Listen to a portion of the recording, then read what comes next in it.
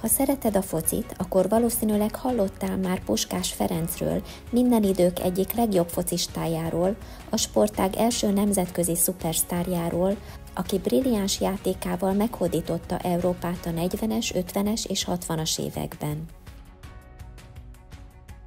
Ebben a videóban bemutatjuk Puskás öcsi életének legfontosabb állomásait és szenzációs eredményeit.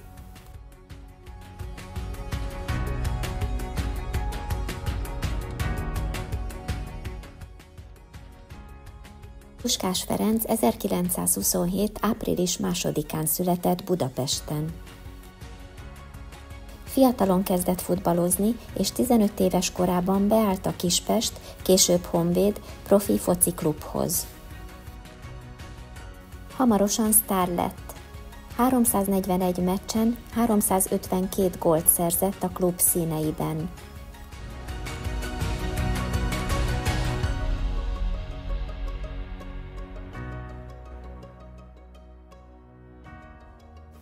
Az 1950-es években az Aranycsapat néven ismert magyar válogatottat csapatkapitányként vezette a dicsőségbe.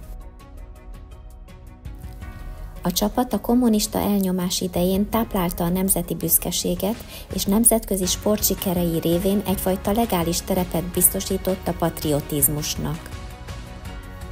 Sebes Gusztáv vezetése alatt a csapatot Puskáson kívül olyan ikonikus játékosok alkották, mint Kocsis Sándor, Hidegkuti Nándor, Cibor Zoltán, Bozsik József és Grosics Gyula.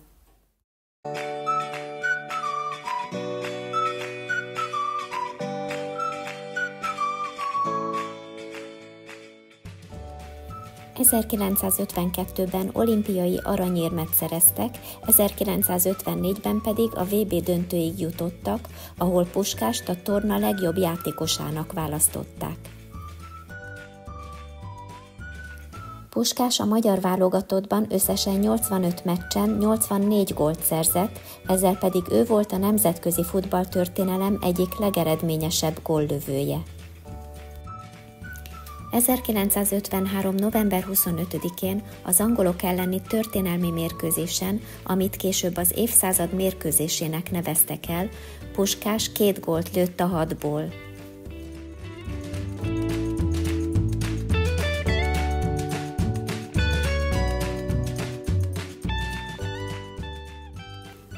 Az ütközet amelyen Magyarország 6-3-ra győzte le Angliát a londoni Wembley stadionban 105 ezer néző előtt, az angol válogatott történetének egyik legjelentősebb veresége volt, és a csapat edzésterve és taktikája teljes felülvizsgálatához vezetett.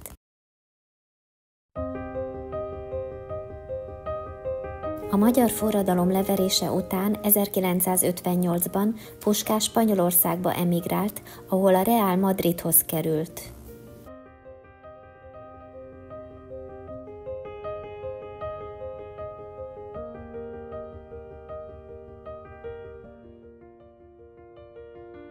Bár ekkor már 31 éves volt, sportkarrierje még messze nem ért véget.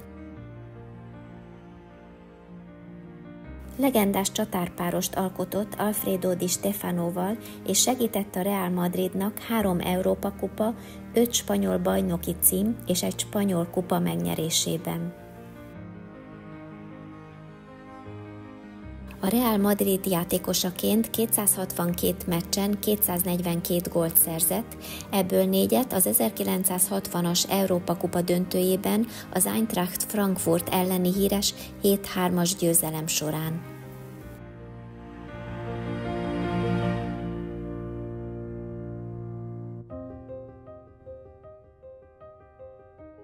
Pancho, ahogy spanyol csapattársai nevezték, a spanyol nemzeti válogatott színeiben négy meccset játszott, így azon kevés játékosok egyike lett, akik pályafutásuk során két országot is képviseltek.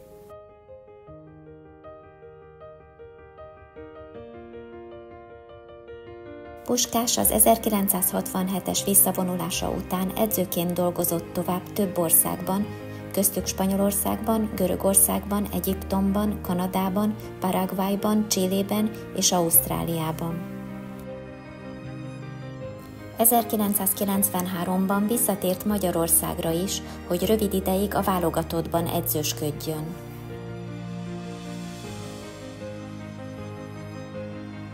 2006. november 17-én hunyt el Budapesten, 79 éves korában.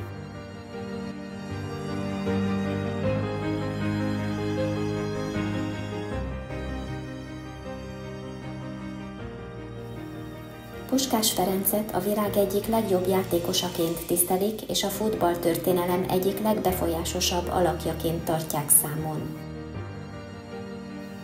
Bámulatos lábáról, cseleiről, szervezői és vezetői képességeiről volt ismert.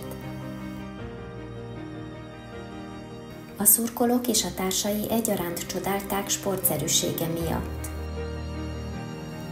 Pályafutása során és utána is számos díjban és kitüntetésben részesült. 1954-ben a FIFA aranylabdájának negyedik helyét, majd 1960-ban a második helyét szerezte meg. 1994-ben a FIFA érdemrendjével tüntették ki. 2009-ben az ő tiszteletére alapították a FIFA Puskás díjat, amelyet minden évben a legszebb gólszerzője kap.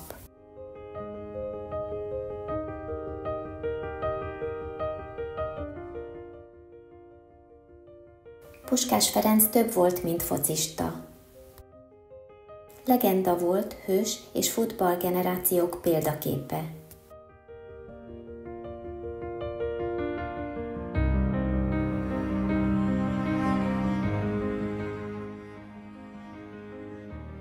Kitörölhetetlen nyomot hagyott a játékon és szurkolók millióinak szívében szerte a világon.